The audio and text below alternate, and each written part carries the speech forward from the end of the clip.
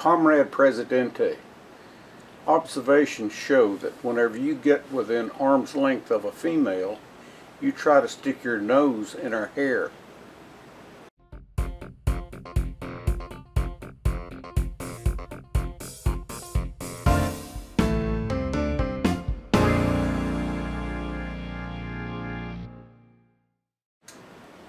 Well, in your mind's eye, how do you view these females?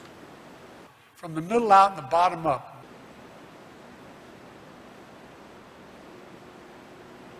I think we'll just leave that one right there.